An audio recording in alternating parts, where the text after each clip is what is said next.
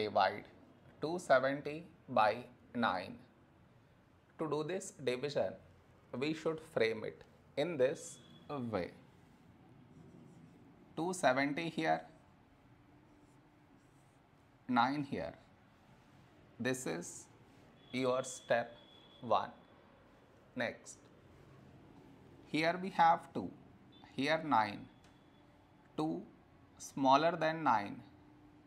So we should take two numbers 27. When do we get 27? In 9 table. 9 3s 27.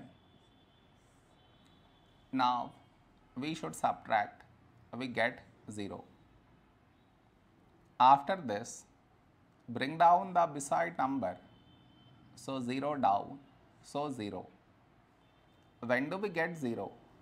In 9 table, 9 times 0, 0. Now we subtract, we get 0. After this, no more numbers to bring it down and we got remainder 0. So this is our quotient